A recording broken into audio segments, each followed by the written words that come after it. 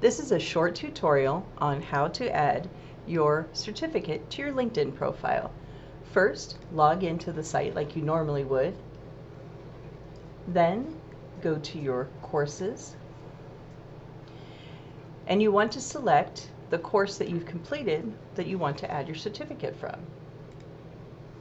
Scroll down after you've completed the entire course and your certificate of completion will be here and the button to add to your LinkedIn profile. Click that button and all of this information will become available. This needs to be manually entered into your LinkedIn. This is how it works. You click add to profile. If you're logged into your LinkedIn account, your license and certifications tab will automatically open.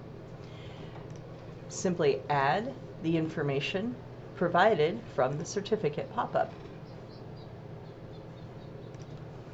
And then click Save. And that will be added to your LinkedIn profile.